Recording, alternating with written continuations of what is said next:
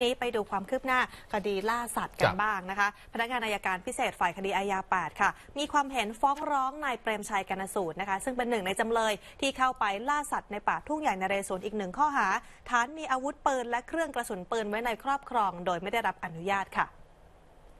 พนักงานสอบสวนกองบังคับการปราบปรามการกระทำความผิดเกี่ยวกับทรัพยากรธรรมชาติและสิ่งแวดล้อมนะคะ ได้รายงานความคืบหน้าล่าสุด คดีนายเปรมชัยกนสูตร ต่อพลตำรวจเอกศรีวรารังสิพรามนกุล รองผู้บัญชาการตำรวจแห่งชาติ กรณีที่ได้เข้าตรวจยึดอาวุธปืน และกระสุนปืนจำนวนหนึ่ง จากบ้านพักในซอยศูนย์วิจัยกรุงเทพมหานครค่ะและพนักงานสอบสวนก็ได้ส่งสำนวนฟ้อง ต่อพนักงานอายการ ข้อหามีอาวุธปืนไว้ในครอบครองโดยไม่ได้รับอนุญาตนะคะ ขณะนี้ค่ะ พนักงานอายการพิเศษฝ่ายคดีอาญา 8 ก็ได้มีความเห็นฟ้องนายเปรมชัยกนสูตรต่อศาลอาญา ฐานมีอาวุธปืนและเครื่องกระสุนปืนไว้ในครอบครอง โดยไม่ได้รับอนุญาตแล้วนะคะ ตามประมวลกฎหมาย รวมถึงพระราชบัญญัติอาวุธปืน เครื่องกระสุนปืน วัตถุระเบิด ดอกไม้เพลิง และสิ่งเทียมอาวุธปืน และคำสั่งคณะปฏิรูปปกครองแผ่นดินฉบับที่ 44 นะคะ